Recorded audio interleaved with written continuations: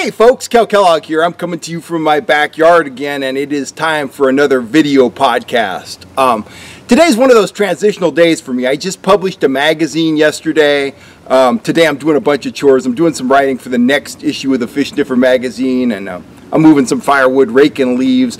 But I was out on the water last week, and I had some questions about knots. And uh, I just grabbed, actually grabbed my, my favorite jig rod. This is my big old Seeker. Um, it's matched with a Penn reel, but it has, has nice blue Yo-Zuri braid on there. So I'm going to demonstrate a couple knots today, and I thought you could see that line really well. Going to be a few cuts in this video because I might have to trim the, trim the lure off and then retie it stuff like that.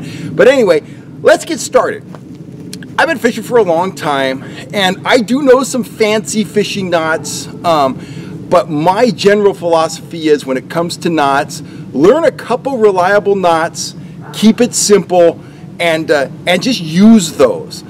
When you're out there, it's, it's the heat of battle. Picture it. We're out on a boat. Maybe it's rough. Maybe we got eight, nine foot swells. A lingcod bite's going strong, or maybe we're in the delta striper fishing and it's getting dark.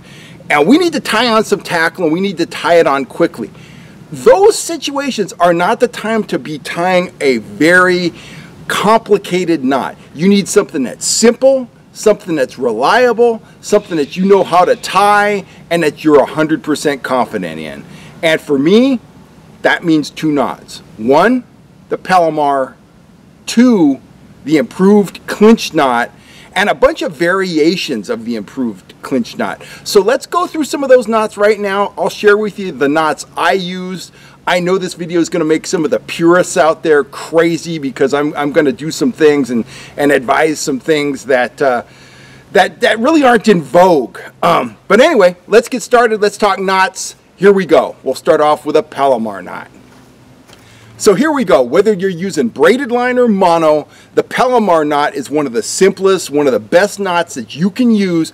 It's 90 plus percent reliable in terms of the breaking strength of the line in reference to the breaking strength of the knot. A lot of times when you tie a knot, certain knots will reduce the breaking strength of the line by 40, 50% in some cases. So it's nice to have a knot that's going to break at about the same weight as the line you're using. But anyway, let's get started. Here's a Palomar. Here's how I tie it. I think I got enough slack to kind of approach the camera here. So let me step up here. What I'm going to be tying on, I just kind of randomly grab this. It's a big old two ounce bucktail jig. And I think you'll be able to see it pretty well. So what I do when I tie a Palomar, I take the line, I pass it through the eye, and then I'll, I'll pass it back through again. And what you're really trying to achieve is just a double line like that. Just a double line through the eye of the of the hook or the snap or whatever you're trying to tie on. At that point, here's what you do. Tie a simple granny knot like so. And don't draw that down. It's kind of. So don't draw that down. I've just tied a granny knot and I've got the, uh, the tag end of that doubled line. And what I'm going to do once I, I have the, the granny in place, I'm going to take that lure and I'm going to drop it through the loop formed in that tag end. At that point, I'm just going to start to slide everything down. Just slide it all down, draw it down, there you go. You got a Palomar knot. You want to trim this tag end off here. And, and this is one of the things that's going to drive people crazy. Let me, let me whip out my pocket knife. I don't like to cut my tag ends off super short. I feel that the tag is kind of my insurance against the knot slipping. Now, I don't have big concerns. I'd leave that about like that. I'd fish with that, that tag just like that right now. I don't have big concerns about a Palomar knot slipping, but it's always my practice to leave a little bit of tag end regardless of what kind of knot I'm tying.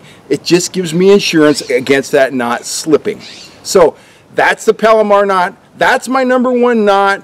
If I need a strong, reliable knot, that's what I go with. I can tie it really fast and it's a really good knot. But let's move on. Let's move on to the improved clinch knot. Now I'll show you how to tie a classic improved clinch knot. Let me trim this off here. That's a good sharp knife. That's my one of my uh, Kershaw's. That's a nice sharp blade.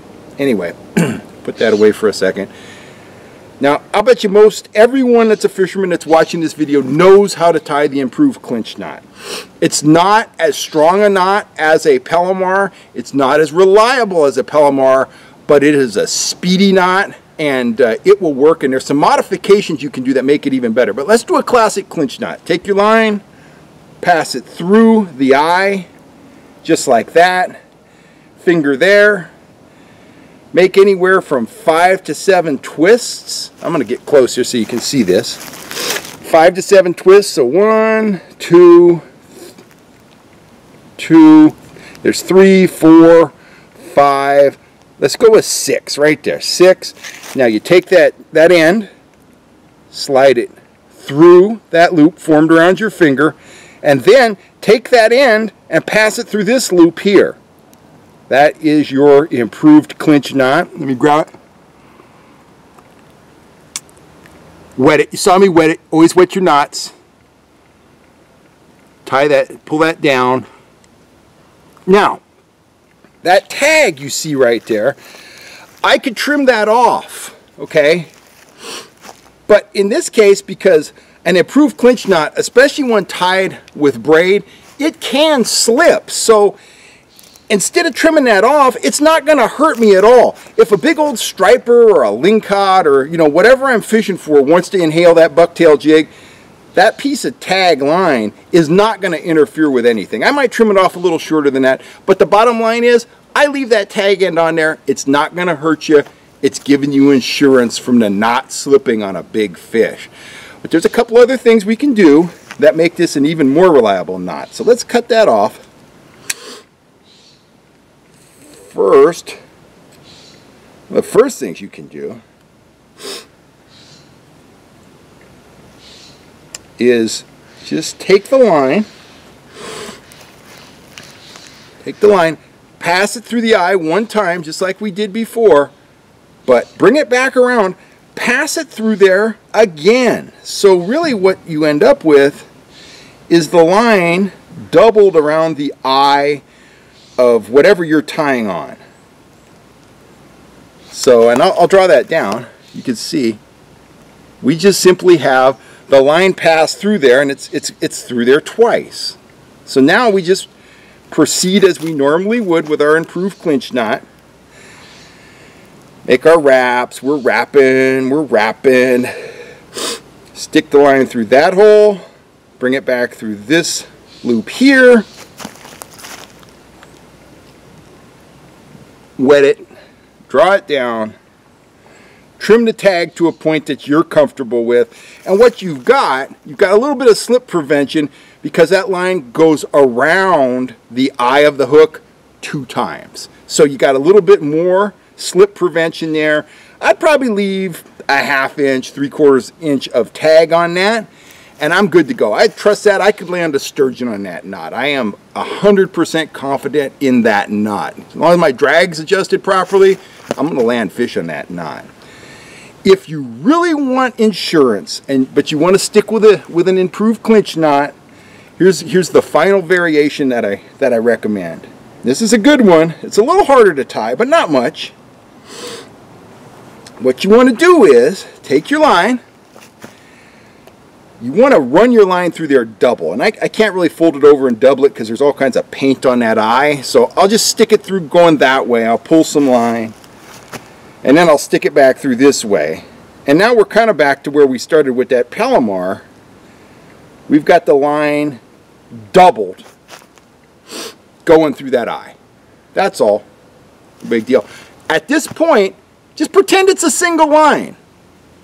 Go ahead, pull it down. We're, we're going to tie a improved clinch knot with the line doubled.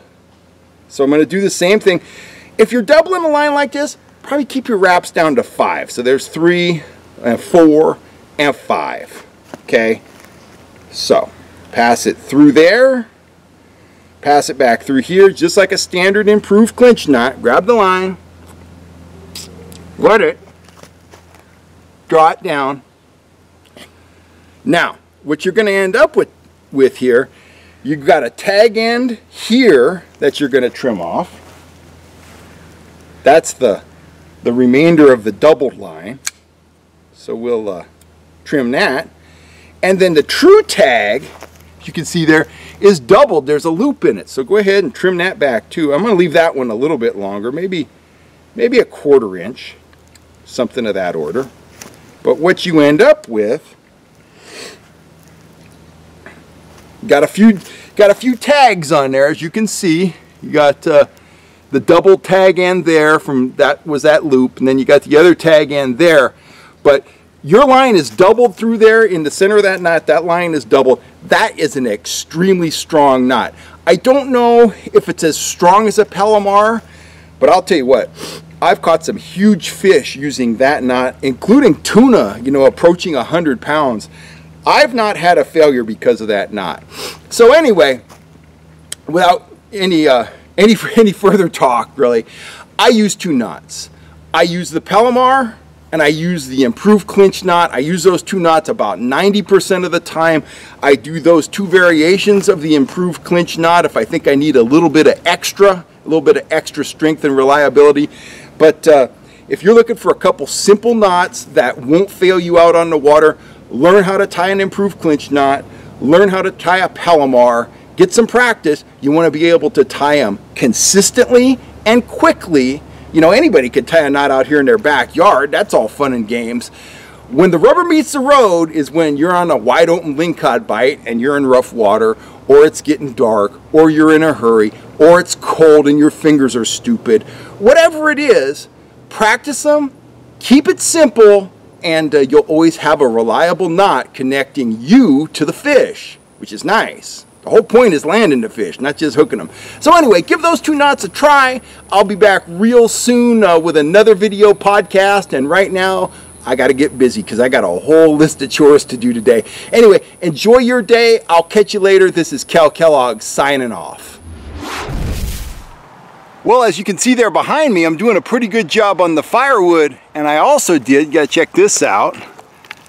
I also did a really a really cool job on my back window. So anyway, maybe I should be fishing instead of doing chores, but uh, I gotta find somebody to fix that now. Anyway, I'll catch you later. Cal Kellogg signing off again.